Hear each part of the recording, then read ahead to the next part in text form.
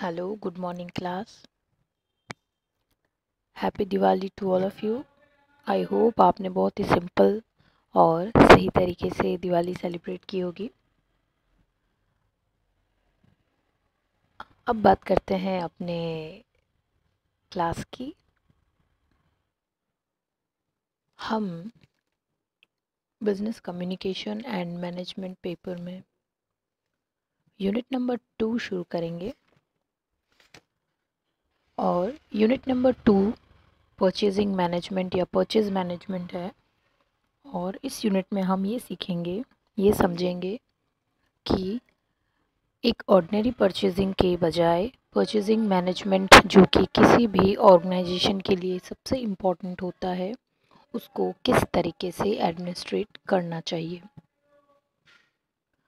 जब हम परचेजिंग की बात करते हैं तो इसको साधारण शब्दों में हम क्रयण यानी क्रय करना कहते हैं। क्रय करना मतलब खरीदना।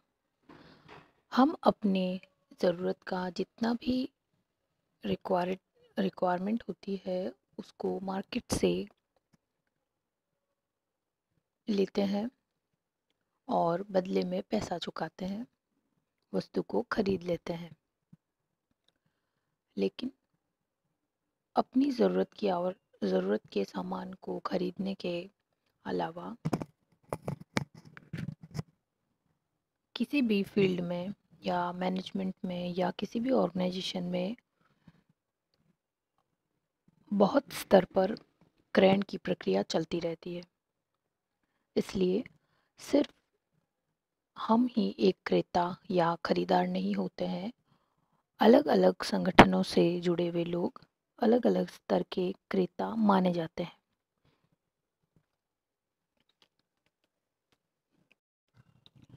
जनरली हम चार तरह के खरीदार यानी क्रेता बोल सकते हैं। एक तो कंज्यूमर यानी उपभोक्ता जो कि हम हैं। दूसरा होता है मीडिएटर यानी मध्यस्थ। तीसरा होता है सरकारी एजेंसी जिसको हम आपको, हमको अपना एक टैक्स के रूप में सरकार को, उन एजेंसीज को पे करना होता है।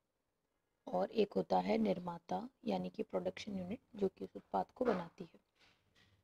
तो ये सभी प्रकार के जो डिपार्टमेंट्स हैं, इन सभी प्रकार के डिपार्टमेंट्स में खरीद का कार्य चलता रहता है। तो ये सभी खरीदार की श्रेणी में आते हैं। अब जो कंज्यूमर है, वो चारों प्रकार का जो हमने अब तक पढ़ा है कि ये जो क्रेता होते हैं, वो चार तरह के होते हैं कि उपभोक्ता भी एक क्रेता है, मध्यस्थ, निर्माता और सरकार की जो एजेंसियाँ हैं, उत्पाद को खरीदती हैं और उनकी ज़रूरत की चीज़ों को तो ये सभी क्रेता बन जाते हैं। और कंज्यूमर का ये जो क्रेता वर्ग जो होता है, ये बहुत बड़ा होता है। और जितना बड़ा ये ग्रुप होता है, उतना ही ज़्यादा इसका जो इम्पैक्ट होता है, वो किसी भी प्रोडक्ट की डिमांड पर, उसकी सप्लाई पर, उसकी प्राइस पर, उसका सीधा इफ़ेक्ट पड़ता है। हमने ये पढ़ा है कि एक जो रिटेलर होता है, वो अपना जो सामान होता है, वो एक होलसेलर से ख़रीदता है। और जो होलसेलर होता है, वो या तो किसी मीडिएटर से कांटेक्ट करता है या सीधे प्रोडक्शन यूनिट से अपने प्रोडक्ट को ख़रीदता है और कंज्यूमर तक पहुंचाता है। तो अपने अपने स्तर पर ये सभी लोग क्या होते हैं? कंज्यूमर होते हैं, सभी उपभोक्ता वर्ग होता है, क्रेता वर्ग होता है। उपभोक्ता तो जो वस्तु को उपभोग करता है लेकिन जो फुटकर व्यापारी होते हैं, वो उपभोग के उद्देश्य से उत्पाद को खरीदते नहीं है, इसलिए हम उसको उपभोक्ता नहीं कहेंगे। तो वो क्या बन गया? क्रेता बन गया। तो ये जो परचेज बिहेवियर होता है इन सभी का, इसके लिए एक कुशल प्रबंधन की बहुत ज़रूरत होती है। अब हर जो क्रेता अपने स्तर पर एक कुशल प्रबंध के द्वारा अपने उस उत्पाद को कंज्यूमर तक पहुंचाता है। अगर वो अपने खरीद खरीद के समय उचित दाम पे उस वस्तु को नहीं खरीदेगा, उचित समय पर नहीं खरीदेगा, उचित कीमत पर नहीं खरीदेगा या उचित मात्रा में नहीं खरीदेगा, उचित क्वालिटी में अगर नहीं खरीदेगा तो उसका सीधा असर उस उत्पाद की बिक्री पर आता है। हम खुद ये समझते हैं कि हम जब मार्केट जाते हैं और अपने लिए कुछ ज़रूरी का सामान खरीदते हैं तो हम बहुत सारा थोड़ा रिसर्च करके, घर से समझ के हमें क्या खरीदना है या हम जो प्रोडक्ट खरीद रहे हैं, उसकी रेट क्या है, इन सारी चीज़ों को देखभाल के फिर ही खरीदते हैं।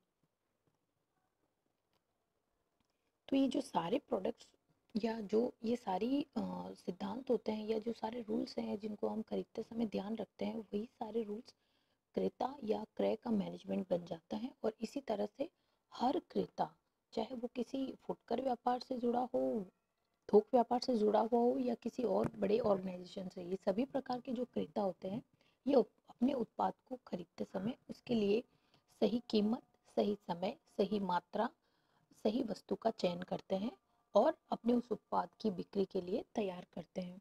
इसलिए क्रय का प्रबंध होना बहुत ज़रूरी होता है।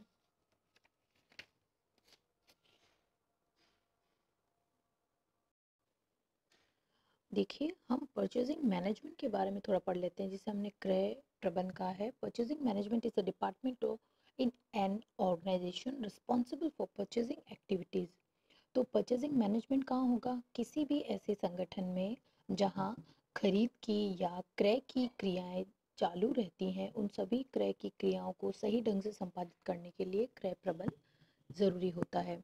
Purchase is the most important function in any organization खरीदना किसी भी संगठन के लिए सबसे ज़रूरी कार्य होता है। Purchase is the first element which affect the product cost जो खरीद होती है उत्पाद की या उत्पाद से जुड़ी हुई जितनी चीज़ों की हम खरीदारी करते हैं, समझ लीजिए कि मुझे एक बैग बनाना है और उस बैग को बेचना है। तो उस बैग बनाने के लिए जो ज़रूरत का जितना सामान होगा वो सारा कहाँ से आएगा? मुझे खरीदना पड़ेगा? तो मेरी जो खरीद है, अगर मैंने किसी बैग को बनाने के लिए जितना ज़रूरत का सामान है, वो मैंने अगर हाँ फाइव हंड्रेड रुपीज़ में ख़रीदा है तो उस फाइव हंड्रेड रुपीज़ जो मेरी परचेजिंग है तो उस परचेजिंग की जो कॉस्ट है, उसका सीधा असर उस प्रोडक्ट की कॉस्ट से जुड़ेगा। ऐसा तो नहीं है कि मैंने पाँच सौ रुपये लगाए हैं अपने और अपनी मेहनत लगाई है, अपना समय दिया है। इन सब के बावजूद भी मैं उस प्रोडक्ट की कॉस्ट पर इफ़ेक्ट नहीं आने दूँगी और कभी उसको 200 में बेच दूँगी, कभी हज़ार में बेच दूँगी, ऐसा तो नहीं हो सकता। हमारा जो परचेजिंग का बिहेवियर रहेगा, उस पर जो हमने खरीद की जो रेट अपने पैसे जो लगाए हैं, वो सीधा इम्पेक्ट करेगा हमारी उस कॉस्ट को। हम ये ज़रूर सोचेंगे कि अगर हमने अपने पाँच सौ रुपये लगाए हैं या हमने अपना टाइम दिया है, मेहनत की है, उस प्रोडक्ट की एडवर्टीजिंग की है, उसको प्रोडक्ट को मार्केट तक लाने में मेरा एक हज़ार रुपये खर्च हो गया है तो मैं उस प्रोडक्ट की कॉस्ट को एक हज़ार या इससे ज़्यादा रखूँगी। The purchasing management department assures that all goods, supplies and inventory needed to operate the business are ordered and kept in stock. कि जो परचेजिंग मैनेजमेंट होता है वो यही सिखाता है कि प्रोडक्ट की जो डिमांड है या उसकी सप्लाई है वो सही तरीके से चालू रहे और सही समय पर हमारे पास उचित मात्रा में स्टॉक हो जो हमें बेचना है it is also responsible for controlling the cost of the goods, ordered controlling inventory levels, and business strongly relationships with the suppliers. जब हम अपनी एक छोटे स्तर की बैग की बात करते हैं तो जहाँ संगठन की बात आएगी वहाँ तो लाखों करोड़ों की परचेजिंग होती है तो वहाँ पे जब कोई भी बड़ा विक्रेता होता है, वो अपने जो सप्लायर्स होते हैं या अपने जो बायर्स होते हैं, जो परचेज़र होते हैं, उन क्रेताओं को सेटिस्फाई करने के लिए हमेशा अपनी उस कॉस्ट को कंट्रोल रखता है, जो उस प्रोडक्ट को या उस प्रोडक्ट से जुड़े हुए माल को बनाने के लिए लगने वाली है। अगर वो समय समय पर अपनी प्रोडक्ट की कॉस्ट को बढ़ाता रहेगा तो इससे उसके जो खरीदार होंगे, वो धीरे धीरे अपना माइंड चेंज करेंगे और किसी अन्य विक्रेता से माल को खरीदने जाएँगे।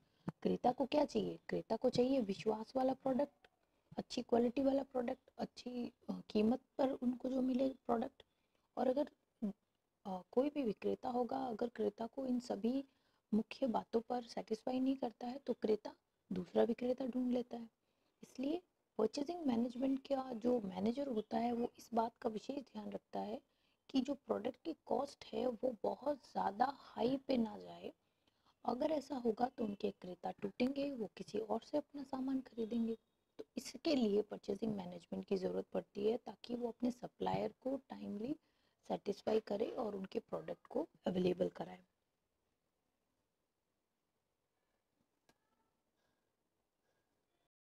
अब किसी भी संस्था में क्रय का प्रबंध करना क्यों ज़रूरी है? इससे क्या फ़ायदा है?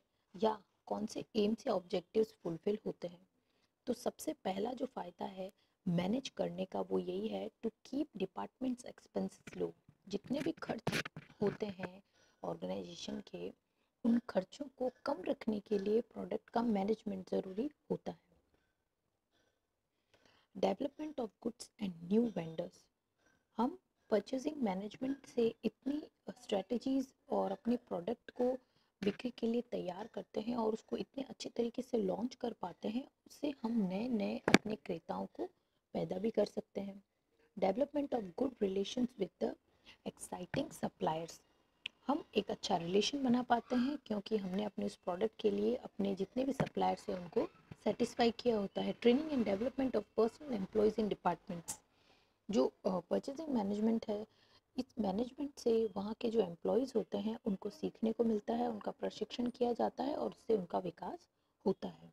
To maintain proper up to date records of all transactions और जो परचेजिंग मैनेजमेंट होता है उसके हाथ में होता है कि वो जितने भी खर्चे कर रही है, जितने भी प्रोडक्ट्स को ख़रीद रही है, उन सारे प्रोडक्ट्स की वो पूरी ट्रांजेक्शन डिटेल को अप टू डेट रखता है और जैसे जैसे ख़रीदारी बढ़ती जाती है, उसकी वो पूरे डेटा या उसका जो रिलेटेड जो जितने भी फॉर्मेलिटीज़ होती है, उनको अप टू डेट रिकॉर्ड्स रखता है। Participating in development of new material and products product का जो मैनेजमेंट होता है, वो मैनेजमेंट हमेशा नए नए बाज़ारों में नए नए उत्पादों को लॉन्च करने के लिए तैयार रहता है और उसमें पार्टिसिपेट करता है। To contribute in product improvement और जो परचेजिंग बिहेवियर होता है या सप्लाईज को सेटिस्फाई करने के लिए, वो हमेशा ये कोशिश करते हैं कि अपने प्रोडक्ट में कुछ ना कुछ इम्प्रूवमेंट लाई जाए, जिससे उनके सप्लायर्स खुश रहें। To avoid stock out situations कभी भी वो ऐसी स्थिति बनने नहीं देते हैं जब उनके सप्लायर्स को खाली हाथ जाना पड़े। To develop policies and produce वो नई नई पॉलिसी प्रोडक्ट से रिलेटेड और प्रक्रियाओं को लॉन्च करती रहती हैं, जिससे उनको काम को कम समय में ज़्यादा से ज़्यादा वो अपने उत्पादन को बढ़ा सके। अब आप देखिए इम्पोर्टेंस ऑफ़ परचेजिंग हम पढ़ते हैं कि परचेजिंग की क्या इम्पोर्टेंस है, ये क्यों ज़रूरी है? या कौन कौन सी ऐसी जो बातें हैं जिनका विशेष विशेष ध्यान किसी भी प्रोड्यूस या अपन कह सकते हैं परचेजिंग मैनेजमेंट में रखी जाती है कि कोई भी क्रेता होगा, वो अपने क्रय प्रबंध के अंतर्गत निम्न बातों का ध्यान रखता है। तो सबसे पहले कोई भी क्रेता वस्तु को खरीदने से पहले जिन सिद्धांतों को फॉलो करता है, वो है buying material at right quality वो जो भी मटेरियल खरीदता है, वो सही क्वालिटी की होनी चाहिए। इन राइट क्वांटिटी उसकी जो मात्रा होती है, वो भी सही होनी चाहिए। फ्रॉम द राइट सोर्स सही जगह से वस्तु को खरीदना। हम एक जर्नल भी कोई प्रोडक्ट लेकर आते हैं और हमें पता चलता है कि हम जिस दाम पर लाए हैं, उससे कहीं सस्ते दाम पर किसी और शॉप पे मिल रहा है तो हमें बड़ा अफसोस होता है। होता है ना? हमें क्या सजेशंस दिए जाते हैं कि सही जगह से थोड़ा स्टडी करके या मार्केट में घूम के घूम के शॉपिंग करनी चाहिए ताकि आपको उस प्रोडक्ट की रियल प्राइस पता चले। हमने उस बात को कहाँ से ख़रीदा है? सोर्स देखिए, आजकल ऑनलाइन शॉपिंग का बहुत ट्रेंड चला है। तो अगर किसी फर्जी वेबसाइट से हम प्रोडक्ट मंगाते हैं और जो हमें दिखाया जाता है डिस्प्ले में, उससे कहीं घटिया क्वालिटी की प्रोडक्ट हमारे घर तक पहुँच जाती है और वो पैसे भी रिटर्न नहीं होते हैं।